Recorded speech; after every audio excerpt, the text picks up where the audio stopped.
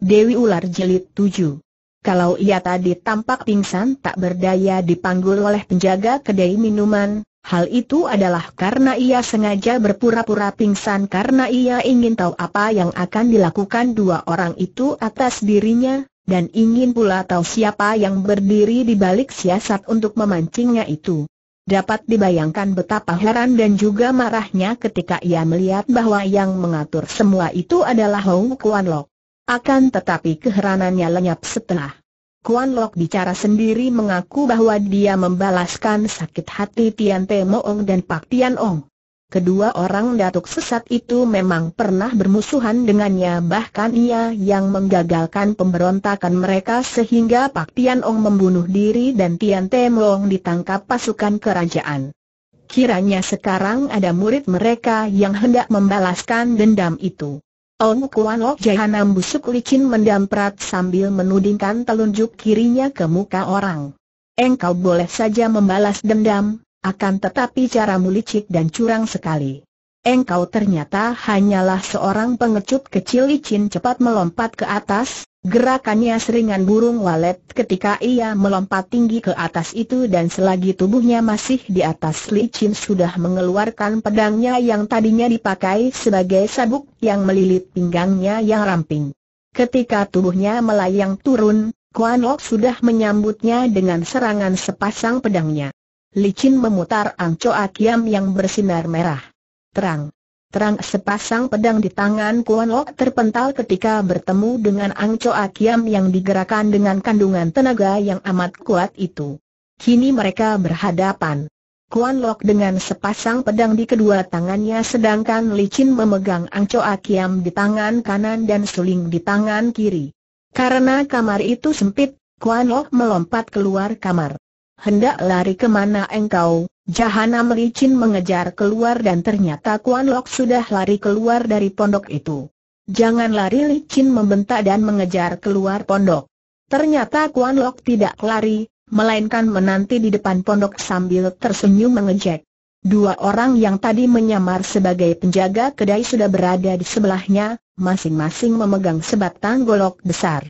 Mereka itu sebenarnya adalah dua orang perampok yang merampok Kuan Lo akan tetapi dapat ditundukkan oleh pemuda itu dan dijadikan anak buahnya untuk memancing dan menangkap licin. Hahaha, So licin, sekaranglah tiba saatnya engkau menebus dosamu terhadap kedua orang guruku Kuan Lo berkata sambil memberi isyarat kepada dua orang pembantunya untuk bergerak. Dua orang pembantunya itu adalah perampok-perampok jahat dan kejam yang sudah biasa mempergunakan kekerasan untuk memaksakan kehendaknya. Mereka belum mengenal licin maka memandang rendah gadis ini, apalagi karena mereka masih beranggapan bahwa gadis itu pernah pingsan oleh obat bius, sama sekali tidak mengetahui bahwa licin hanya berpura-pura pingsan. Kini dengan golok mereka, kedua orang itu menyerbu Ligin dengan galak dan ganas. Sebetulnya mereka hanya mengandalkan tenaga dan keberanian saja. Dalam ilmu silat, mereka sama sekali bukan tandingan licin. Maka begitu mereka menyerbu, licin menggerakkan pedangnya beberapa kali untuk menangkis dan balas menyerang dan di lain saat, hanya dua gebrakan saja, mereka berteriak kesakitan, golok mereka terlepas dari tangan mereka dan mereka terpelanting dengan menderita luka tusukan pedang di pundak mereka. Luka yang cukup parah, membuat mereka tidak berani dan tidak dapat melanjutkan perkelahian dan memandang licin dengan mata terbelalak, lalu mereka mengambil langkah seribu melarikan diri. Melihat ini, Kuan Lok marah sekali. Dua kali tangan kirinya bergerak, Dua batang pisau gagang hitam meluncur dan dua orang perampok itu mengadu lalu roboh dan tewas karena pisau itu menancap di punggung menembus jantung mereka. Licin menjadi semakin marah menyaksikan kekejaman ini, ia lalu menerjang dengan pedangnya, menyerang dengan gerakan cepat dan kuat sekali. Kuan Lok memang tidak berani memandang ringan kepada gadis ini. Kalau kedua orang gurunya pernah kalah menghadapi gadis ini, maka tentu gadis ini memiliki ilmu kepandaian yang tinggi. Akan tetapi dia merasa yakin akan dapat membunuh licin, karena dalam hal kepandaian, tingkatnya kini sudah melampaui tingkat kepandaian Pak Tian Ong atau Tian Te Ong, atau setidaknya seimbang. Dengan cepat dia pun menyambut serangan licin dan membalas serangan itu dengan gerakan sepasang pedangnya yang cepat. Terjadilah pertandingan yang amat hebat antara Licin dan Ou Kuan Lok. Kedua orang muda ini memang memiliki ilmu kepandaian yang setingkat. Namun, setelah pertandingan berlangsung selama 50 jurus lebih, tiba-tiba Li Chin mengubah gerakan silatnya. Kalau tangan kanan yang memegang pedang masih memainkan Ang Choa Kiam maka tangan kirinya yang memegang suling kini membantu dengan serangan totokan yang dilakukan dengan ilmu totok it yang ci yang amat liai dari Xiao Lim Pai. Kuan Lok menjadi terkejut sekali. Hampir saja pundaknya terkena totokan yang amat lihai itu. Terpaksa ia menjatuhkan diri ke belakang lalu berjungkir balik tiga kali untuk menghindarkan diri dari pengejaran licin. Gadis itu menjadi semakin ganas. Setelah melihat betapa lawannya jerih menghadapi totokannya, ia malah semakin gencar menyerang dengan totokan suling di tangan kirinya. Sebetulnya tingkat kepandaian Kuan Lok telah setingkat dengan ilmu kepandaian licin, akan tetapi ketika dia harus menghadapi ilmu totok it yang ci, dia menjadi terdesak. Licin lalu menyelipkan sulingnya di ikat pinggangnya dan kini melanjutkan it yang ci menggunakan jari tangannya. Tentu saja serangannya menjadi semakin berbahaya karena ilmu totok itu memang harus menggunakan jari tangan. Dari jari tangannya meluncur hawa totokan yang amat kuat dan Kuan Lok terpaksa mengelak ke sana sini. Akhirnya dia maklum bahwa keadaannya amat berbahaya kalau dia melanjutkan perlawanannya terhadap gadis yang lihai itu. Maka ketika mendapat kesempatan setelah dia menyambitkan sisa pisau-pisau terbangnya ke arah licin dan gadis ini terpaksa berloncat ke belakang sambil memutar pedangnya, dia lalu melompat ke belakang dan melarikan diri. Jahanam pengecut teriak licin akan tetapi ia tidak mau mengejar. Ia tahu bahwa lawannya itu seorang yang selain tinggi ilmunya, juga amat curang dan licik. Ia menyimpan kembali pedangnya dan segera meninggalkan tempat itu, mengingat-ingat bahwa kini ia mempunyai seorang musuh yang berbahaya, yang bernama Ou Kuan Lok dan murid mendiang Pak Tian Ong dan Tian Temo Ong. Ia lalu melanjutkan perjalanannya menuju ke Bukit Ular di Lembah Wong Ho, tempat tinggal ibunya karena tempat itulah yang terdekat dari situ. Niatnya untuk menyelidiki keluarga Chia di Hui Chu ditundanya karena tempat itu masih terlampau jauh dari situ. Setelah bertemu dengan ibunya dan berusaha membujuk ibunya agar suka memaafkan ayahnya dan mau hidup bersama mereka di Hang San, baru ia akan melakukan penyelidikan terhadap keluarga Chia di Hui Chu dan mencari si kedok hitam yang telah menyerang dan melukai ayahnya. Di sepanjang lembah Wong Ho bagian barat terdapat banyak sekali perbukitan bagaikan naga yang panjang berbelak belok. Di antara ratusan buah bukit itu terdapat sebuah bukit yang dikenal dengan sebutan Bukit Ular Merah. Agaknya pernah ada orang melihat seekor ular merah di bukit ini, maka selanjutnya bukit itu diberi nama demikian. Entah benar atau tidak ada ular merah di tempat itu, akan tetapi yang jelas di bukit itu memang terdapat hutan-hutan yang dihuni banyak macam ular dari yang kecil beracun sampai yang sebesar paha orang yang panjangnya sampai 10 meter. Karena adanya banyak ular di situ, tidak ada orang berani mendaki bukit dan memasuki hutan di bukit itu. Bahkan pemburu yang paling tabah pun segan memasuki hutan di bukit itu, karena yang paling berbahaya adalah ular-ular yang berbisa dan berbahaya sekali. Di tempat yang berbahaya ini, jauh di puncak tertutup pohon-pohon besar, berdiri sebuah pondok kayu yang mungil dan pondok itu adalah tempat tinggal seorang datuk wanita yang terkenal sekali dengan julukan Angtok Moli, iblis betina racun merah. Datuk wanita ini terkenal dan ditakuti orang karena selain memiliki ilmu silat tinggi, ia pun seorang ahli dalam hal racun. Bahkan ia selalu membawa seekor ular kecil bersisik merah yang disebut Ang Hwe Acoa, ular kembang merah. Ia juga ahli dalam menjinakkan ular, seorang pawang ular yang lihai. Ia dapat memanggil semua ular dan ular-ular itu dapat diperintahnya melakukan hal-hal yang membuat ia ditakuti lawan. ia dapat mengerahkan ular-ular untuk mengeroyok lawannya, maka ia merupakan lawan yang amat berbahaya. Sebetulnya, ketika masih mudanya ia merupakan seorang gadis yang cantik sekali. Bahkan sekarang pun, setelah berusia 47 tahun ia masih cantik dan bertubuh ramping. Dan ia suka sekali memakai pakaian serba merah sehingga sesuai dengan julukannya. Ketika ia masih seorang gadis muda, banyak pria yang tergila-gila kepadanya dan banyak lamaran diajukan orang. Akan tetapi semuanya ditolak oleh gadis yang bernama Bu Siang ini karena tidak ada yang cocok dengan hati dan seleranya. Ia merantau dan malang melintang di dunia persilatan karena ilmunya yang tinggi. Sebelum ia dikenal dengan julukan Ang Tok Mol ia sudah merupakan seorang gadis yang berwatak keras dan tidak mengenal ampun kepada musuh-musuhnya. Ketika ia berusia 27 tahun, bertemulah ia dengan seorang pendekar yang bukan lain adalah So Tek Bun yang pada waktu itu berusia sepantar dengan Bu Siang. Mereka bertemu dan saling jatuh cinta, Demikian akrab dan intimnya hubungan di antara mereka sehingga Bu Siang sudah menyerahkan diri dan kehormatannya karena percaya bahwa Tek Bon pasti tidak akan menyia-nyiakannya dan akan menjadi suaminya. Pada waktu itu, dalam usia 27 tahun, Bu Siang mulai terkenal karena keganasan dan kelihayannya, maka orang sudah mulai menjuluki ia Ang Tok Moli.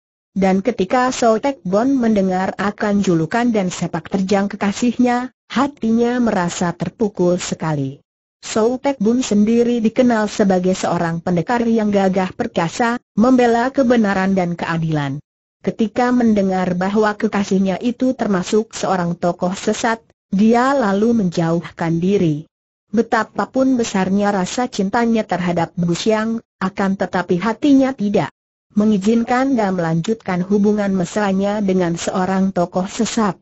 Gus yang merasa betapa kekasihnya itu menjauhkan diri, maka ia mendesak agar Tek Bun segera mengawininya. Akan tetapi Tek Bun dengan terang-terangan mengatakan bahwa dia tidak mungkin mempunyai seorang istri tokoh sesat. Mendengar ini, Bus yang menjadi marah sekali. Segala bujuk rayu dan ancaman tidak mengubah pendirian Tek Bun. Bus yang lalu menyerangnya dan terjadilah perkelahian antara mereka yang berakhir dengan kekalahan Bus yang karena ilmu silat dan ilmu pedang keluarga So tangguh. Bus yang pergi meninggalkan So Tek Bun dengan hati sakit dan ia mendendam. Demikian marah dan bencinya kepada So Tek Bun sehingga ia merahasiakan kepada pendekar itu bahwa sesungguhnya ia telah mengandung dua bulan. Ia mempunyai rencana sendiri mengenai anak yang akan dilahirkannya lah ingin menggembleng anak itu sehingga mewarisi semua ilmunya, kemudian ia akan menyuruh anak itu membalas dendam dan membunuh Tek Bun. Ia akan mengadu antara ayah kandung dan anaknya sendiri sehingga salah satu dari mereka akan mati. Si ayah akan mati di tangan anak kandungnya sendiri, atau si anak yang akan mati di tangan ayah kandungnya sendiri. Demikian sakit hatinya sehingga ia akan membuat Tek Bun sengsara karena dibunuh atau membunuh anak kandungnya sendiri. Rasa sakit hatinya bertambah ketika sutenya mencoba membantunya membujuk Tek Bun, namun pendekar ini tetap menolak sehingga mereka bertanding dan sutenya terluka oleh Tek Bun. Dendam ini berkelanjutan sampai puteri yang dilahirkannya menjadi dewasa. Putrinya itu adalah licin yang ia beri nama Margabu. Dan setelah putrinya menjadi dewasa dan liai, ia pun menyuruh licin pergi membunuh Sotek Bun yang dikatakannya musuh besarnya. Licin berangkat dan bertemu dengan Sotek Bun, akan tetapi Sotek Bun menyadarkannya karena dia dapat menduga bahwa Licin adalah anak kandungnya. Selagi ia meragu, muncul Ang Tok Moli yang mendesak anaknya untuk membunuh Tek Bun. Akan tetapi Li Chin tidak mau bahkan membela ayahnya. Ang Tok Mui terpaksa pergi dengan hati hancur. Anak yang sejak kecil digembleng untuk membunuh Tek Bun ternyata malah memihak ayahnya. Demikianlah peristiwa itu terjadi dua tahun yang lalu, baka kisah gelang kemala, dan kini Li Chin hendak mencari ibunya untuk dibujuk agar ibunya suka memaafkan ayahnya dan mereka bertiga dapat bersatu kembali menjadi sebuah keluarga yang bahagia. Ang Tok Moli tinggal di puncak Bukit Ular itu bersama lima orang wanita pembantunya. Lima orang wanita ini pun telah dilatih ilmu silat sehingga mereka menjadi orang-orang lihai dan selain menjadi pelayan, mereka pun dapat diandalkan untuk menjaga pondok di puncak itu. Usia mereka antara 35 sampai 40 tahun. Datuk wanita ini sana sekali tidak tahu bahwa puterinya sedang mencarinya. Ia sendiri sedang menghadapi persoalan yang terjadi di puncak sehari yang lalu, selagi ia tidak berada di rumah. Apakah yang terjadi kemarin? Ketika itu, Ang Tok Moli sedang turun dari puncak untuk pergi ke kota yang paling dekat dan membeli segala keperluan sehari-hari seperti bumbu masak, kain untuk pakaian, dan lain-lain. Baru saja ia pergi belum ada dua jam, seorang kakek mendaki puncak itu dari jurusan lain. Setibanya di depan pondok, lima orang anak buah Angtok Moli segera menyambut kakek yang asing bagi mereka itu. Seorang kakek yang sudah tua sekali, tidak kurang dari 70 tahun usianya, tubuhnya sudah bongkok dan rambut, kumis serta jenggotnya sudah putih. Kakek itu membawa sebatang tongkat dari bambu kuning. Biarpun sudah tua, namun dengan cepat dia dapat mendaki puncak Bukit Tular, menunjukkan bahwa dia bukan seorang kakek biasa, melainkan seorang yang berilmu tinggi. Lima orang anak buah Ang Tok Moli itu menyambut kakek itu dan seorang di antara mereka yang menjadi pemimpin bertanya, Siapakah paman dan ada urusan apakah datang ke tempat kami ini kakek itu menyeringai, memperlihatkan mulut yang sudah tidak bergigi lagi. Hei hei hei, kalian tidak mengenal aku? Sungguh aneh kalau ada orang tidak mengenalku, menunjukkan bahwa mereka itu bodoh dan tolol. Aku adalah Jeng Chiang KWI, setan seribu tonang, dari guha tengkorak di lembah iblis KWI Sandia berhenti untuk melihat reaksi wajah mereka. Akan tetapi lima orang wanita yang memang jarang bahkan hampir tidak pernah turun dari puncak kecuali untuk membeli keperluan mereka di dusun-dusun berdekatan, tidak mengenal nama itu. Apa keperluan Nu mendatangi tempat ini pemimpin mereka bertanya, sikapnya menjadi tidak sabar. Hohoho, di mana Ang Tok Moli? Suruh ia keluar menemui aku lima orang itu mengerutkan alisnya, merasa tidak senang. Mau apa engkau mencari Toanio, nyonya besar tanya mereka. Mau apa? Mau apa aku mencari iblis betina Angtok Moli itu? Tentu saja membunuhnya. Aku mau membunuhnya kerarat. Serbu bentak pemimpin kelompok lima orang itu. Mereka marah sekali mendengar betapa kedatangan kakek ini untuk membunuh majikan mereka. Mereka berlima mencabut pedang masing-masing dan segera mengepung dan menyerang Jeng Chiang KWI. Jeng Chiang KWI adalah seorang datuk sesat yang lihai sekali. Ilmu kepandaiannya tinggi dan wataknya aneh, kadang lembut dan kadang juga kasar dan kejam sekali. Kurang lebih delapan tahun yang lalu dia bentrok dengan seorang tokoh sesat lain berjuluk Heka Liong, naga tanduk hitam, karena mereka saling memperebutkan daerah kekuasaan. Dalam pertandingan ini, Heka Liong tewas di tangan Jeng Chiang KWI. Hek Kak Liong adalah sute dari Ang Tok Moli. Maka, pada tujuh tahun yang lalu, Ang Tok Moli mendatangi Jeng Chiang KWI dan hendak membalaskan kematian sutenya, baka kisah gelang kemala. Dalam perkelahian yang hebat dan mati-matian ini Jeng Chiang KWI berhasil menotok pundak Ang Tok Moli sehingga muntah darah dan terluka dalam. Akan tetapi sebaliknya, Ang Hwe Acoa, ular kembang merah, telah menggigit lengannya sehingga Jeng Chiang KWI keracunan hebat.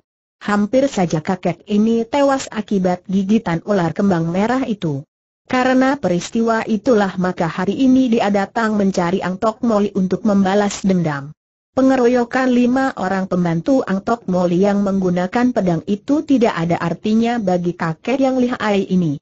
Tubuhnya seolah terlindung sinar kuning dari tongkat bambunya dan lima batang pedang lawan semua terpental begitu bertemu dengan sinar kuning itu.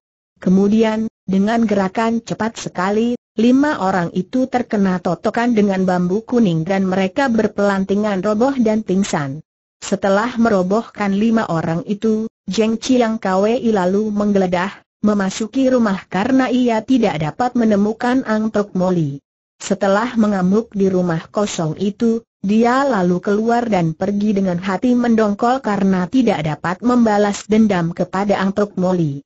Pada siang harinya, barulah Ang Tok Moli pulang dari kota. Ia merasa heran melihat keadaan di sekitar pondok sunyi sekali, tidak tampak seorang pun di antara lima orang pembantunya.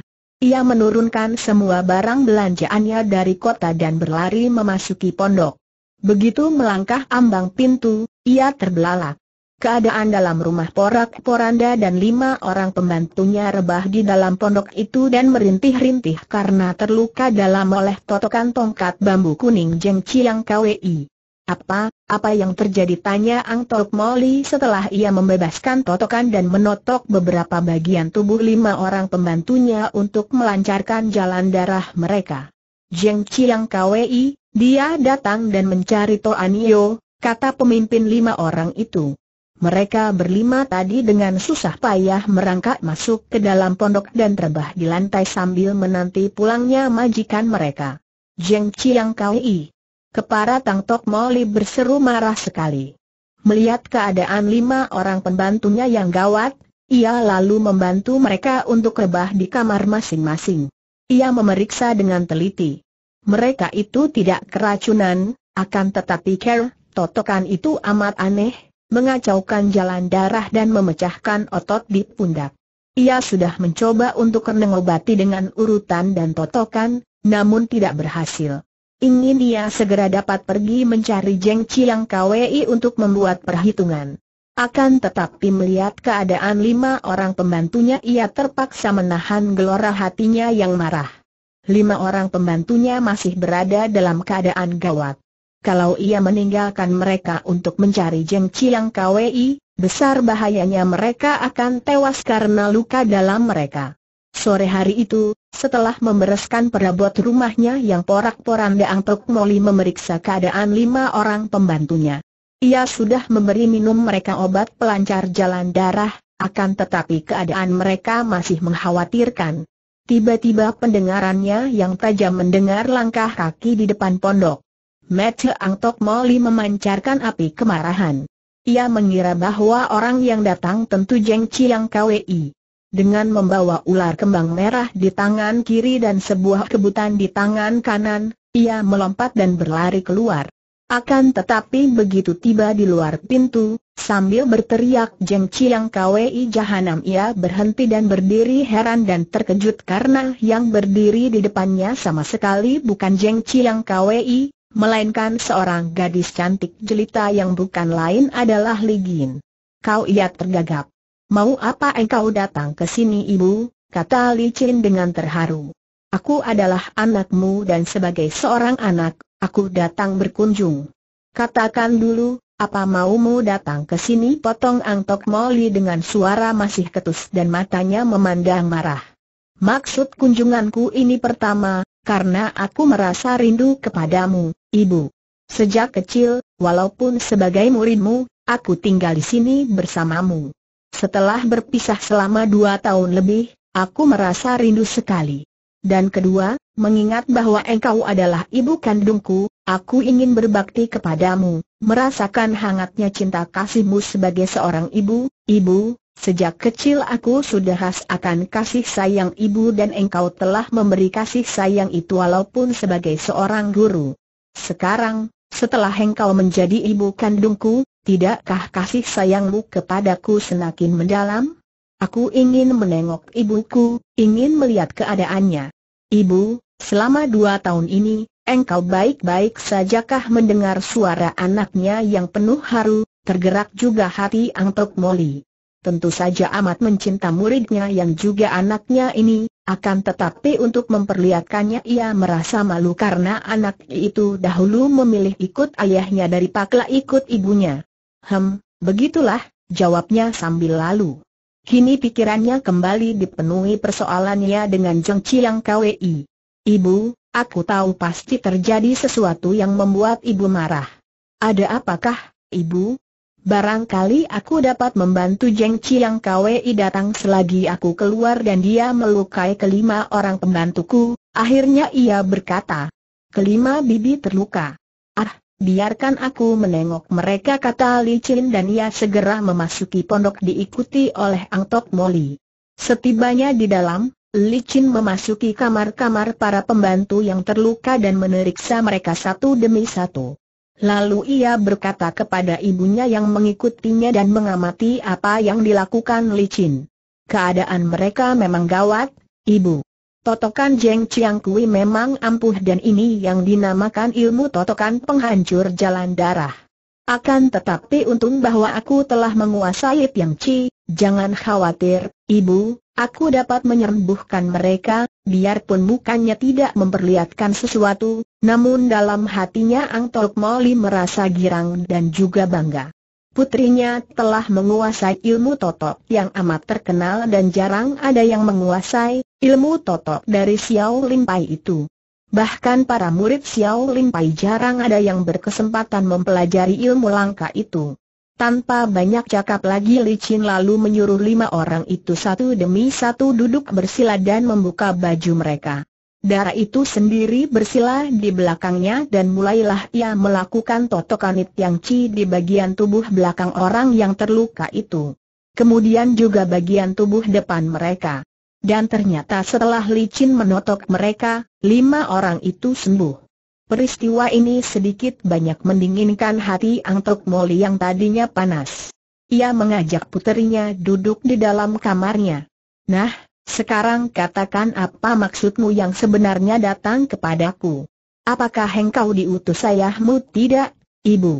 Kalau ibu sudi mendengarkan, aku ingin memberitahukan bahwa ayah baru-baru ini kedatangan seorang yang berkedok hitam dan penjahat itu melukai ayah dengan pukulan tapak tangan hitam. Biarpun aku sudah mengobatinya, namun dia memerlukan waktu untuk memulihkan tenaganya. Hem, Salahnya sendiri mengapa dia kalah melawan musuhnya, kata Angtok Moli tidak pedulikan. Semenjak engkau pergi dari Hang San dan aku hidup bersama ayah, setiap hari kami berdua bersedih. Aku tahu bahwa ayah merindukan engkau, ibu, hem aku tidak berbohong, ibu. Bahkan ayah sering bicara dalam tidurnya memanggil-manggil Bu Siang. Aku menjadi sedih sekali melihat keadaan ayah, ibu. Dia sudah benar-benar menyesal akan apa yang dia lakukan terhadapmu, ibu. Dan aku yakin bahwa dia tetap mencinta ibu dan mengharapkan suatu waktu akan dapat hidup bersama ibu. Karena itu, ibu, aku mohon kepadamu, sudilah kiranya ibu memaafkan semua kesalahan ayah dan kita bertiga hidup bersama di Hang San sebagai sebuah keluarga yang bahagia. Aku mohon, ibu, dan sambil terisak licin menjatuhkan dirinya berlutut dan memeluk kedua kaki ibunya. Wajah Ang Tok Moli yang biasanya pucat itu kini menjadi sedikit merah. Kedua matanya basah dan kedua tangannya bergerak hendak merangkul putrinya, akan tetapi gerakan itu ditahannya. Baik, akan ku pertimbangkan permintaanmu itu. Akan tetapi engkau yang selama belasan tahun belajar dariku, Ku minta engkau lebih dulu membantu aku menghadapi Jeng Chiang KWI. Aku harus membalas apa yang dilakukannya hari ini tentu saja aku bersedia, ibu. Aku bersedia mempertaruhkan nyawa untuk membelamu gadis itu bangkit dan hendak memeluk ibunya. Akan tetapi Ang Tok Moli mengelak dan berkata, nanti dulu.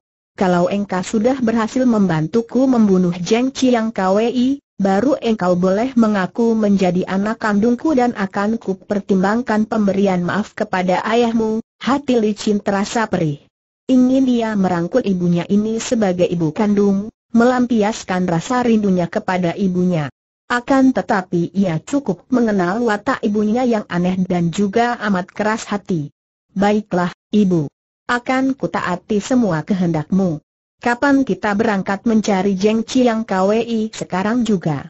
Akan tetapi, mereka itu ia menoleh, memandang ke arah kamar-kamar para pembantunya. Jangan khawatir, ibu. Mereka sudah sembuh, hanya tinggal memulihkan tenaga saja. Asal diberi obat penguat darah, sudah cukuplah, kalau begitu, sekarang juga kita pergi, kata Angtok Moli. Ke mana, Ibu?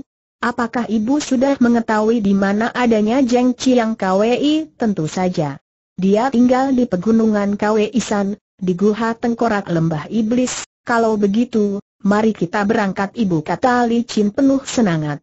Ia masih teringat akan kakek berjuluk Jeng Chiang KWI itu, ketika tujuh delapan tahun yang lalu ia bersama Ang Tok Moli yang ketika itu masih ia anggap sebagai gurunya, mendatangi Jeng Chiang KWI sehingga keduanya menderita luka. Ia yakin akan mampu mengalahkan musuh besar ibunya itu. Jeng Chiang KWI sebetulnya bernama Cilu Semti, akan tetapi setelah ia menjadi datuk sesat, orang Kang Ou hanya mengenal nama julukannya saja. Dia tinggal di Guha Tengkorak di Lembah Iblis yang terletak di lereng Bukit Kuisan. Selama beberapa tahun ini dia telah membentuk perkumpulan tanpa nama terdiri dari kurang lebih 30 orang. Dia sendiri tinggal di sebuah guha besar yang bentuknya dilihat dari jauh seperti tengkorak, namun guha itu telah diubah di bagian dalamnya menjadi rumah kediaman yang mewah. Di kanan kiri guha itulah didirikan pondok-pondok kayu yang menjadi tempat tinggal anak buahnya. Anak buahnya itu rata-rata memiliki ilmu silat yang cukup tangguh karena mereka menerima pelajaran ilmu silat dari Jeng Chiang KWI sendiri. Di waktu mudanya, Jeng Chiang KWI merupakan seorang maling dan tukang copet yang amat liai, dan karena itulah maka dia dijuluki setan tangan seribu. Dan dia pun sudah berhasil mengumpulkan harta yang cukup banyak. Setelah menjadi majikan Guha Tengkorak, kekayaannya semakin bertambah. Anak buahnya bertugas mendatangi para perampok dan pencuri di daerah yang amat luas dan minta pajak dari mereka. Tadinya memang banyak yang menolak dan menentang, akan tetapi para penjahat itu satu demi satu ditalukan oleh Jeng Chiang Kui dan selanjutnya mereka menganggap Jeng Chiang Kui sebagai pelindung dan dengan senang hati memberikan sebagian dari hasil kejahatan mereka kepada Jeng Chiang Kui. Dia sendiri melarang anak buahnya untuk melakukan kejahatan merampok atau mencuri dan hidup mereka cukup ditunjang oleh pemungutan pajak itu. Maka, Jeng Chiang Kwei lalu terkenal sebagai datuk sesat di daerah itu. Pada suatu hari, keadaan di Guha Tengkorak meriah sekali. Di situ sedang diadakan perayaan ulang tahun Jeng Chiang Kwei yang ke-72 tahun, Sepuluh orang kepala perampok dan kepala pencuri dari daerah itu berdatangan untuk memberi selamat kepada Seng Datuk sambil memberi hadiah yang berharga. Mereka semua duduk menghadapi meja besar dan di kepala meja duduk Jeng Chiang KWI yang menjamu mereka. Tiga puluh orang anak buah juga ikut berpesta pora sambil melayani para tamu di meja besar itu. Mereka bergantian memberi selamat kepada Jeng Chiang Kui dengan secawan arak dan suasana ramai dan gemuruh sekali, maklum bahwa yang berpesta adalah orang-orang kasar dari dunia hitam. Selagi ramai-ramainya mereka merayakan pesta itu, tiba-tiba terdengar suara wanita yang merdu dan nyaring, bagus sekali. Sekali ini engkau merayakan ulang tahunmu yang terakhir, Jeng Chiang Kui semua orang terkejut dan menengok. Ternyata di situ telah berdiri dua orang wanita yang cantik. Yang pertama adalah seorang wanita yang usianya sudah 47 tahun akan tetapi kelihatan seperti wanita berusia 30 tahun saja, dan yang kedua lebih jelita lagi, seorang gadis berusia 19 tahun. Mereka itu bukan lain adalah Angtok Moli dan Licin. Para tamu itu adalah kepala-kepala gerombolan penjahat setempat, bukan tokoh-tokoh Kang Ou maka mereka tidak ada yang mengenal Ang Tok Moli, apalagi licin. Mereka memandang dengan mata kagum akan kecantikan mereka bahkan ada yang mengeluarkan seruan kagum secara kurang ajar sekali. Akan tetapi Jeng Chiang Kwei terkejut juga menyaksikan kunjungan orang yang tidak disangka-sangkanya itu. Ang Tok Moli adalah musuh lamanya. Baru-baru ini malah dia mendatangi Bukit Ular akan tetapi tidak dapat bertemu dengan Angtok Moli dan sekarang iblis betina itu berani datang ke tempat tinggalnya. Dia bangkit berdiri dan menuding dengan tongkat bambu kuningnya. Aha, Angtok Moli. Kebetulan sekali engkau datang mengantarkan nyawa sehingga aku tidak lagi bersusah payah mencari Licin berkata cepat. Ibu, kakek ini sedang merayakan ulang tahunnya, sebaiknya kita juga memberi hadiah kepadanya tanpa menanti jawaban ibunya, Licin sudah meniup sulingnya. Suara suling nyaring melengking terdengar dan semua orang memandang heran, ada yang menutupi telinga karena suara melengking-lengking itu seperti menusuk ke dalam telinga mereka. Tak lama kemudian terdengar para anak buah guha tengkorak berteriak-teriak, ular, ular. Banyak sekali ular kini tampaklah beratus-ratus ular merayap masuk ke dalam tempat pesta itu. Kalau ada yang berani membunuh mati seekor ular, dia akan mati dikeroyok ular berbisa kata Ang Tok Moli dan licin terus meniup sulingnya. Ular-ular itu seperti dikomando lalu membuat lingkaran lebar mengepung tempat itu. Setelah licin menghentikan tiupan sulingnya, ular-ular itu pun diam di tempat seperti telah mati atau tertidur pulas. Segera tercium bau amis yang memuakan di tempat itu sehingga banyak orang menggigil karena merasa ngeri. Seorang di antara para kepala gerombolan penjahat itu mengenal licin dan dia pun berseru keras, Dewi Ular dan semua orang memandang takjub dan penuh perasaan jerih kepada Li Chin. Jeng Chiang KWI, aku menantangmu untuk bertanding satu lawan satu sampai salah satu di antara kita kalah atau tewas Sang Tok Moli berteriak menantang Jeng Chiang KWI. Datuk ini tentu saja tidak takut terhadap ratusan ular itu. Dia bangkit berdiri dan mengetukkan tongkat bambunya ke atas lantai. Bagus, memang aku ingin membunuhmu, Ang Tok Moli. Engkau boleh menggunakan lagi Ang Hwe Acoa itu, aku tidak gentar sedikit pun setelah berkata demikian. Sekali menggerakkan tubuhnya dia telah melompat masuk ke dalam lingkaran yang dikepung ular itu, memalangkan tongkat bambunya di depan dada.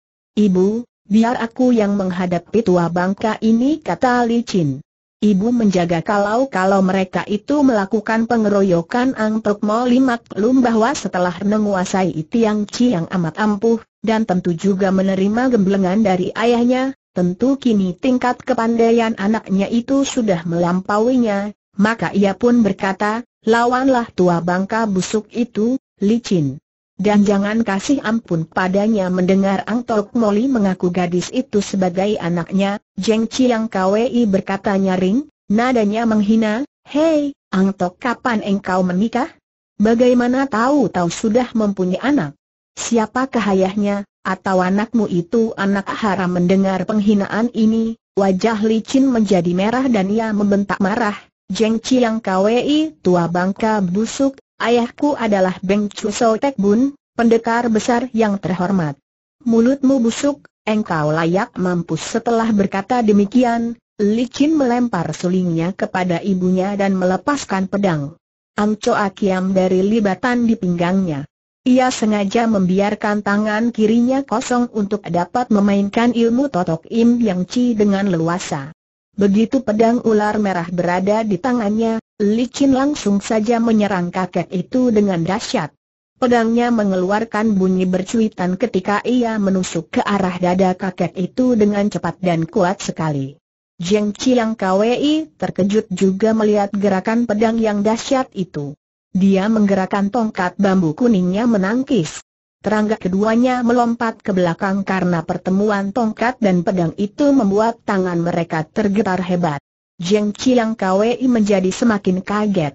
Ternyata gadis cantik itu memiliki tenaga sinkang yang amat kuat, bahkan dapat mengimbangi tenaganya. Dia cepat membalas, tongkatnya berubah menjadi sinar kuning menyerampang ke arah kaki licin. Ketika gadis itu melonat ke atas untuk menghindarkan kakinya dari sambaran tongkat, tongkat itu telah meluncur dan menusuk ke arah perut gadis itu. Cepat dan hebat gerakan Jeng Chiang Kui ini, akan tetapi serangannya yang beruntun tidak membuat licin gugup.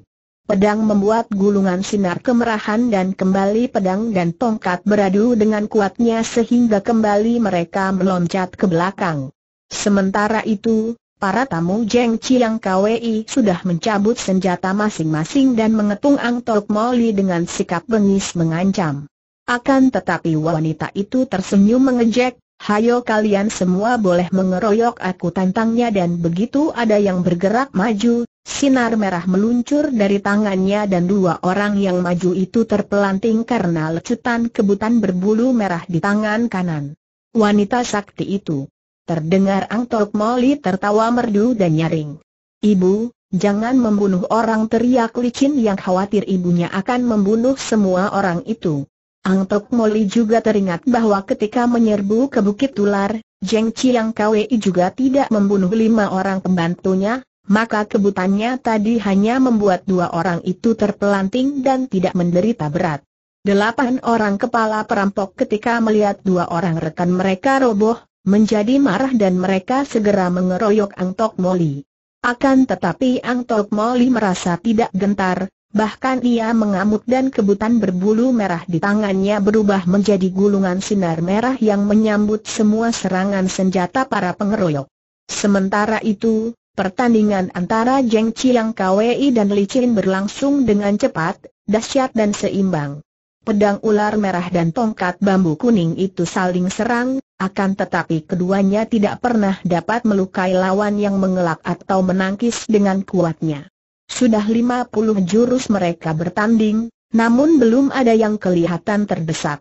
Diam-diam Licin harus mengakui bahwa lawannya merupakan datuk yang lihai sekali. Pantas tujuh tahun yang lalu itu ibunya sampai terluka parah ketika melawan Jeng Chiang Kwei. Jeng Chiang Kwei juga merasa penasaran sekali. Gadis ini benar-benar merupakan lawan yang amat tangguh. Sudah banyak ilmu yang dia keluarkan, namun semua dapat dihindarkan dan dipunahkan gadis itu. Dia sudah mulai berkeringat dan napasnya memburu. Bagaimanapun juga, faktor usia amat menentukan dalam adu kekuatan dan ilmu silat. Karena usianya sudah 70 tahun lebih, Jeng Chiang Kwei mengalami kemunduran yang hebat tanpa disadari olehnya. Karena selama ini tidak pernah menghadapi lawan berat, maka dia selalu dapat menang dengan mudah sehingga dia mengira bahwa kekuatannya masih seperti Duiu di waktu dia muda. Baru setelah kini berhadapan dengan lawan tangguh, terasa olehnya betapa tenaganya hampir terkuras dan napasnya terengah-engah. Merasa bahwa kalau dia tidak cepat dapat menjatuhkan lawannya yang muda ini, dia tentu akan kalah karena kehabisan tenaga. Maka dia lalu mengeluarkan teriakan menyeramkan dan tiba-tiba gerakannya berubah. Tongkat bambu kuning itu bergerak seperti gelombang lautan menyerang licin. Gadis ini terkejut karena merasa betapa dahsyatnya gelombang serangan gulungan sinar kuning itu.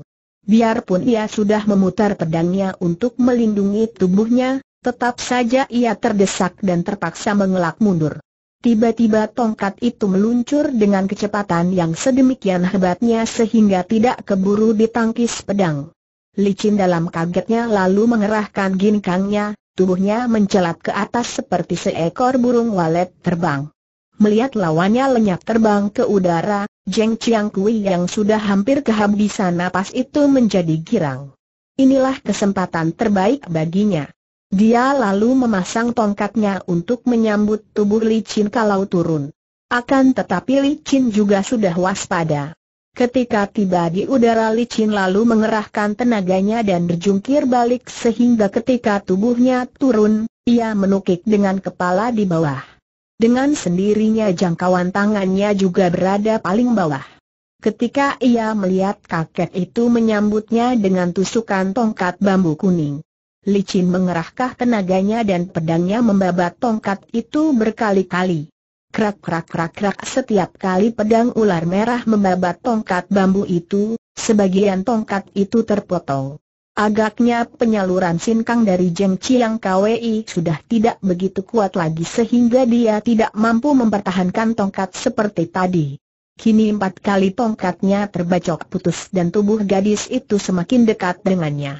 Sambil membabat lagi, Licin menggerakkan tangan kirinya dan menotok ke arah ubun-ubun kepala Jeng Chiang Kwei. Kakek itu sedang terkejut melihat tongkatnya terpotong-potong dan mencurahkan seluruh perhatiannya ke sana, maka dia tidak dapat menghindar lagi ketika jari tangan gadis itu menotok ubun-ubun kepalanya. Tuk Jeng Chiang Kwei mengeluarkan teriakan panjang, Tubuhnya terhuyung lalu ia roboh menelungkup di atas tanah, tidak bergerak lagi. Licin menggunakan kakinya untuk membalikan tubuh itu sehingga telentang dan ia melihat betapa kakek yang tangguh itu telah tewas dengan tongkat bambu yang tinggal pendek masih tergenggam di tangan kanannya. Licin menoleh ke arah ibunya. Ibunya masih mengamuk karena kini 30 orang anak buah guha tengkorak juga maju mengeroyoknya. Akan tetapi sudah ada belasan orang yang rebah malang melintang tidak dapat ikut mengeroyok lagi karena ada yang tertotok tubuhnya sehingga tidak mampu bergerak dan ada pula yang patah tulang dan terluka akan tetapi tidak ada yang tewas. Melihat ibunya mengamuk dengan kebutannya dan sulingnya yang tadi dilemparkan kepada ibunya masih dipegang tangan kiri ibunya dan digunakan untuk menangkis serangan para pengeroyok, Licin berseru, Ibu, lemparkan suling itu ke sini. Ang Tok Moli melemparkan suling yang disambar oleh Licin. Kemudian Licin berkata nyaring, siapa yang tidak mau berhenti mengeroyok, akan dikeroyok ular sampai mati ia lalu meniup sulingnya dan ular-ular yang tadi mengepung saja dan tidak bergerak walaupun di situ terdapat perkelahian, kini mulai bergerak maju, mempersempit lingkaran pengepungan mereka. Melihat ini, Para anak buah guha tengkorak menjadi gentar, apalagi mereka melihat betapa Jeng Chiang KWI telah tewas. Di antara sepuluh orang kepala perampok, yang belum roboh ada dua orang. Melihat keadaan yang tidak menguntungkan itu dan takut dipagut tular berbisa, dua orang ini lalu membuang golok mereka dan menjatuhkan diri berlutut. Kami menyerah. Jangan biarkan ular-ular itu menyerang kami teriak dua orang kepala perampok itu. Perbuatannya ini segera diikuti oleh para anak buah guha tengkorak yang memang sudah kehilangan semangat dan keberanian. Kami semua menyerah kepada Dewi Ular kata mereka gemuruh. Licin meniup lagi sulingnya dengan nada lain dan ular-ular itu lalu memutar tubuh dan merayap pergi dari tempat itu. Melihat ini, Dua kepala perampok dan semua anak buah guha tengkorak menjadi lega dan seorang di antara dua kepala perampok itu sambil berlutut memberi hormat kepada Li Cilin sambil berkata dengan suara nyaring, kami mohon kepada Dewi Ular untuk memimpin kami teriakan ini disambut oleh semua anak buah guha tengkorak yang sudah taluk benar-benar karena gadis itu telah membunuh pemimpin mereka dengan suara gemuruh, hidup Dewi Ular. Licin mengangkat kedua tangannya ke atas dan berkata dengan suara tegas dan nyaring, dengar kalian semua. Jeng Chiang KWI telah mengacau di tempat kami maka hari ini kami datang melakukan pembalasan. Jeng Chiang KWI telah mati dan kalian boleh mengangkat seorang di antara kalian untuk menjadi pemimpin. Aku Dewi Ular tidak ingin menjadi pemimpin kalian, hanya pesan kami agar kalian tidak mengganggu penduduk dusun yang tidak berdosa. Kalau merampok pun harus pilih-pilih, jangan menculik wanita dan jangan sembarangan membunuh orang. Kalau kalian melanggar laranganku ini, kelak kalau aku lewat di sini aku tidak akan mengampuni kalian lagi Coa Sian Li, Dewi Ular, kami mohon sudilah Sian Li memimpin kami yang telah kehilangan pemimpin. Kami akan menaati semua perintah Sian Li terdengar seorang berseru. Li Chin tersenyum dan menggeleng kepalanya. Tidak mungkin. Aku masih mempunyai banyak sekali tugas yang harus ku selesaikan. Nah, selamat tinggal Li Chin memberi isyarat kepada ibunya dan keduanya lalu meloncat jauh dan sebentar saja sudah lenyap dari penglihatan 40 orang yang masih berlutut di situ. Setelah menuruni Bukit Wisan dan tiba di kaki bukit, Ang Tok Moli dan Licin berhenti berlari dan mereka berjalan seenaknya. Licin, hatiku senang sekali engkau telah dapat membantuku membunuh Jeng Chiang KWI.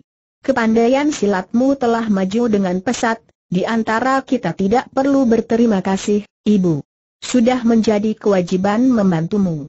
Kenapa engkau tadi menolak pengangkatan mereka menjadi pemimpin mereka, licin. Senang mempunyai anak buah seperti mereka yang rata-rata memiliki kepandaian yang lumayan.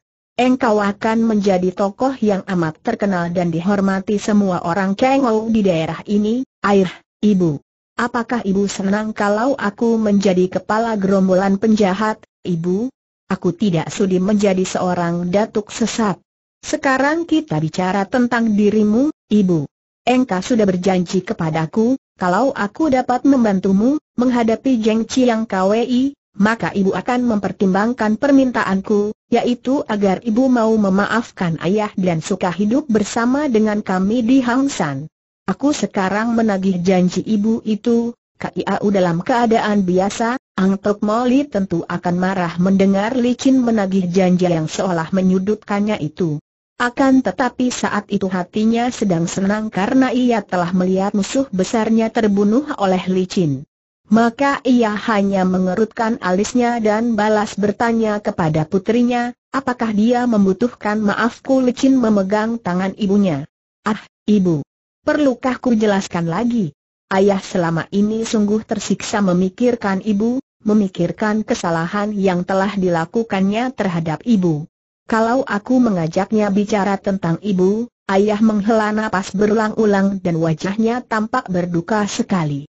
Aku yakin bahwa kalau ibu suka memaafkan dia dan suka tinggal di sana bersama kami, ayah akan menjadi orang paling berbahagia di dunia, tapi, ayahmu adalah seorang bengcu yang terhormat. Sedangkan aku? Kau tahu sendiri siapa aku. Seorang wanita iblis yang dikutuk banyak orang. Derajat dan kemuliaan ayahmu akan ternoda dan terseret turun kalau aku hidup bersamanya, licin merangkul ibunya. Jangan begitu ibu. Aku tahu bahwa biarpun ibu dijuluki Molly, iblis betina, namun di lubuk hati ibu, ibu adalah seorang wanita yang gagah perkasa dan pembela keadilan. Dan tentang ayah, dia akan mengundurkan diri dari kedudukan bengcu itu, ibu, Ah Ang Tok Moli memandang wajah puterinya dengan kaget. Mengapa mengundurkan diri belum lama ini, ayah didatangi seseorang yang memakai kedok hitam dan orang itu memaki-maki ayah sebagai seorang bengcu antek penjajah Manchu, karena ketika pengangkatannya direstui oleh Kaisar Manchu. Kemudian orang berkedok hitam itu menyerang ayah dan dalam perkelahian itu ayah terluka oleh pukulan tapak hitam dari orang itu. Sekarang pun ayah masih beristirahat untuk memulihkan tenaganya ibu. Beruntung bahwa aku telah mempelajari Yang Chi sehingga aku dapat menyelamatkan ayah. Nah, sejak itu ayah mengambil keputusan untuk mengundurkan diri. Dia tidak mau dianggap oleh dunia Kang Ou sebagai bengcu antek penjajah Manchu, hem, siapakah penyerang itu ayah tidak mengetahuinya, ibu. Dan ketika itu aku pun sedang tidak ada di rumah. Ayah hanya mengatakan bahwa orang itu masih muda, berkedok hitam dan memiliki pukulan tapak tangan hitam yang disebutnya pukulan merontokkan jalan darah. Sebetulnya ayah telah menghabiskan urusan dengan si kedok hitam itu, akan tetapi aku tidak dapat menerimanya begitu saja, ibu. Aku akan pergi mencari orang itu dan membalas kekalahan. Ayah. Barangkali ibu mengetahui siapa yang memiliki iimut pukulan seperti itu Angtok Moli mengerutkan alisnya dan mengingat-ingat. Aku pernah mendengar tentang ilmu tapak tangan hitam dari keluarga Chia, akan tetapi entah mereka atau bukan yang melukai ayahmu. Seingatku ilmu tapak tangan hitam keluarga Chia disebut Hek Tok Chiang, tangan racun hitam, aku juga sudah mendengar akan mereka di Huichu, di kaki Bukit Losian, bukan ibunya mengangguk. Kalau begitu, sekarang juga aku akan pergi ke sana untuk menyelidikinya akan tetapi mereka itu terkenal sebagai keluarga para pendekar yang gagah perkasa, bukan golongan penjahat, siapa pun mereka, akan kuselidiki. Kalau betul ada di antara mereka yang dulu memakai kedok dan melukai ayah, tentu akan kutantang dan kubalas dia Angtok Moli menghela napas panjang dan mengamati wajah putrinya. Ada keharuan di hatinya. Kekerasan hati puterinya itu jelas ia yang menurunkannya. Andai kata ia yang menjadi licin, ia pun tentu akan mencari orang itu sampai dapat ditemukan. Kalau begitu, sesukamulah, licin. Engkau sudah memiliki kepandaian yang cukup untuk bertindak sendiri. Akan tetapi, bagaimana dengan keadaan ayahmu dia masih menderita oleh akibat pukulan itu, ibu? Biarpun dia sudah tidak terancam bahaya lagi, namun dia masih lemah dan perlu beristirahat. Aku sudah mencari seorang paman dari dusun untuk merawat dan melayaninya selama aku pergi, aku, aku maafkan dia. Sudah lama, selama engkau pergi, aku sudah maafkan dia, katanya lirih. Mendengar ini, Licin merangkul dan mencium ibunya dengan kedua mata basah. Ketika ia memandang wajah ibunya, ia melihat betapa kedua mata ibunya juga basah. Di dalam hatinya licin bersorak. Ibunya menangis. Ini merupakan hal yang langka sekali dan ini mungkin sekali berarti bahwa hati ibunya yang tadinya membeku dan keras sudah mencair dan lunak kembali. Ibu, ia berbisik dekat telinga ibunya, ayah amat mencinta ibu, sungguh amat mencintaimu, Ang Tok Moli melepaskan rangkulannya mengerutkan alisnya. Kenapa tidak dari dulu? Dan, ayah sudah menyesali hidupnya, ayah merana dalam hatinya dan selalu merindukan ibu. Setelah ibu memaafkan dia, tidakkah ibu kasihan melihat dia terluka?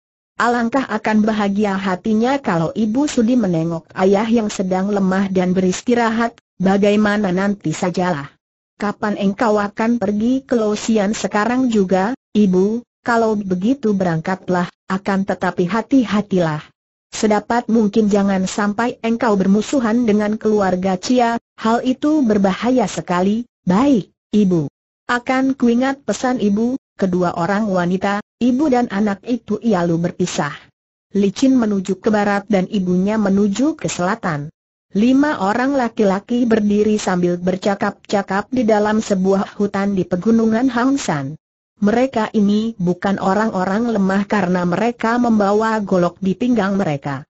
Kuncir mereka melilit leher dan sikap mereka congkak seperti kebanyakan orang yang merasa dirinya kuat dan berkuasa. Memang, Lima orang ini bukan orang sembarangan, melainkan segerombolan perampok yang mengepalai banyak anak buah di sebelah timur pegunungan Hang San. Yang mereka bicarakan adalah Beng Chu So Tek Bun. Tidak salahkah keterangan yang kau peroleh bahwa So Beng Chu itu kini sedang sakit dan lemah tanya seorang kepada kawannya yang bermuka hitam. Tidak salah. Petani yang kini merawatnya menceritakan hal ini kepada beberapa orang dusun dan berita itu menyebar sehingga aku mendengarnya. Kiranya, sekaranglah saatnya yang terbaik untuk bergerak, kata si muka hitam. Akan tetapi ada puterinya yang kabarnya tidak kalah tangguhnya dibandingkan dengan So Beng Chu, kata orang ketiga. Bahkan puterinya itu akhir-akhir ini dikenal sebagai Dewi Ular. Kabarnya ia dapat memanggil semua ular di daerah ini untuk membantunya menghadapi musuh. Ih, mengerikan kata orang keempat. Kalau berbahaya sekali, lebih baik ditangguhkan, tunggu sampai kita memperoleh bantuan yang tangguh, baru kita serbu, kata orang kelima. Kenapa kalian begitu ketakutan? Sudah kukatakan bahwa anak perempuannya itu pergi jauh. Karena itu maka, orang dusun itu disuruh menjaga dan merawat So Wang Chu. Jangan kalian takut, begitu pengecutkah kalian kata si muka hitam yang agaknya menjadi pemimpin mereka. Orang ini memang kelihatan menyeramkan. Mukanya hitam sekali, rambutnya sangat subur, dikuncir tebal dan kuncir itu melilit lehernya. Di punggungnya terdapat sebatang ruyung dan di pinggangnya tergantung sebuah golok. Lima orang ini menamakan diri mereka sendiri Hang San Inggo Ho, lima harimau Bukit Hong San. Mereka bercakap-cakap di hutan yang sunyi itu, membicarakan niat mereka untuk menyerbu rumah So Wang Chu. Apakah benar pedang itu amat berharga maka engkau hendak merampasnya tanya orang pertama kepada si muka hitam. Hem, tentu saja. Amat berharga sekali. Orang di dunia Kang Ou tentu akan berani membayar mahal untuk pedang Cheng Leong Kiam. Kalian tahu pedang itu adalah pedang pemberian kaisar kepada So Beng Chu. Dengan pedang itu di tangan, orang dapat memasuki istana dan semua penjaga akan memberi hormat. Orang itu akan dapat langsung menghadap kaisar. Bukankah benda itu amat berharga? Selain itu, juga pedang itu merupakan pedang pusaka yang ampuh sekali, mendengar keterangan ini, empat orang rekannya menyeringai dan mengangguk-angguk. Kalau begitu kapan kita akan menyerbu ke sana sekarang juga, selagi masih pagi. Berangkatlah lima orang itu mendaki puncak Hang San menuju ke tempat kediaman So Tek Bun. Mereka mendaki setengah berlari dan nampak wajah mereka penuh gairah, penuh semangat. Akhirnya sampai juga mereka di depan pondok tempat tinggal Sotek Bun yang kelihatan sunyi sekali. Selagi lima orang itu menjenguk ke sana sini, muncullah seorang laki-laki setengah tua dari dalam pintu pondok. Melihat lima orang itu, dia terkejut dan cepat menghampiri sambil bertanya, siapa kalian dan ada keperluan apa datang ke sini tanyanya. Akan tetapi sebagai jawabannya, sebatang golok berkelebat dan pelayan itu berteriak mengadu satu kali lalu terkulai roboh dengan dada terkoyak. Mendengar teriakan ini, Sotek Bon yang sedang berada di dalam menjadi terkejut dan dia pun muncul dari pintu. Karena tidak menyangka buruk, Bang Chu ini tidak membawa senjata apa pun. Melihat lima orang yang tampak garang dan bengis itu, So Tek Bun mengerutkan alisnya, akan tetapi ketika dia melihat pelayannya sudah menggeletak mandi darah, dia terkejut dan marah sekali. Siapakah kalian dan apa yang kalian lakukan ini? Si muka hitam memutar tubuh memandang kepada So Tek Bun. Dan empat orang rekannya juga memandang Bengcu itu dengan sinar mata penuh perhatian dan juga ada tersisa perasaan gentar karena mereka sudah mendengar kabar tentang kegagahan Bengcu ini dengan ilmu silatnya yang tinggi. Akan tetapi si muka hitam sudah yakin akan kebenaran berita yang diterimanya lalu tertawa, hahaha, Kiranya yang namanya So Deng Chu hanya seorang tua yang lernah dan berpenyakitan So Tek Bun yang tidak tahu bahwa ucapan itu untuk memancing dan mengetahui keadaannya, menghela napas. Dan berkata sejujurnya, memang aku sedang tidak sehat, akan tetapi mengapa kalian membunuh pelayanku yang sama sekali tidak berdosa ini si muka hitam mencabut golok dan ruyungnya diikuti empat rekannya yang juga sudah mencabut golok mereka. So Tek Bun. Kami datang bukan untuk mengobrol denganmu. Cepatkah serahkan Cheng Leong Kiam kepada kami atau engkau akan mati seperti pelayanmu ini biarpun keadaannya lemah dan tenaganya belum puiha. So Tek Bun adalah seorang gagah perkasa yang tidak mungkin mau tunduk atas perintah gerombolan penjahat begitu saja. Cheng Leong Kiam adalah pedangku, tidak boleh orang lain memilikinya katanya dengan gagah. Kalau begitu mampuslah bentak si muka hitam yang langsung menyerang dengan golok di tangan kanan dan ruyung di tangan kiri. Biarpun Sotek Bun kehilangan tenaganya, namun dia tidak kehilangan ilmu silatnya yang sudah mendarah daging, maka dengan mudah dia mengelak dari serangan golok dan ruyung itu. Akan tetapi empat rekan si muka hitam sudah maju menyerang dari segala jurusan. Sotek Bun hanya mampu mengelak, akan tetapi karena dia kehilangan tenaganya, maka gerakannya juga tidak begitu gesit lagi. Kembali Ruyung si muka hitam menyambar ke arah kepalanya. Sou Tek Bun mengelak dengan menarik kepalanya ke belakang dan pada saat itu, dua batang golok menyambar dari kanan kiri. Terpaksa dia melempar tubuh ke belakang dan dapat berjungkir balik satu kali, hanya untuk menghadapi golok lain dari depan dan belakangnya. Dia memutar tubuh dan kembali mengelak, akan tetapi lakannya kurang cepat sehingga ketika Ruyung menyambar ke arah kepala dan di lakannya, Ruyung itu masih menimpa ujung pundaknya. Des tubuh Sotek Bun terguling. Akan tetapi begitu roboh dia menggulingkan tubuhnya lalu bangkit berdiri dengan pundak kiri terasa nyeri bukan main. Kembali hujan gook dan Ruyung mengeroyoknya. Karena dia tidak diberi kesempatan untuk membalas, maka dia hanya berloncatan ke sana-sini untuk mengelak dan suatu saat kaki kanan si muka hitam mencuat dan mengenai perutnya. Buk kembali tubuh Sotek Bun terpelanting, kini terjengkang, akan tetapi dia masih dapat bergulingan menghindarkan diri. Tahulah Sotek Bun bahwa nyawanya terancam maut.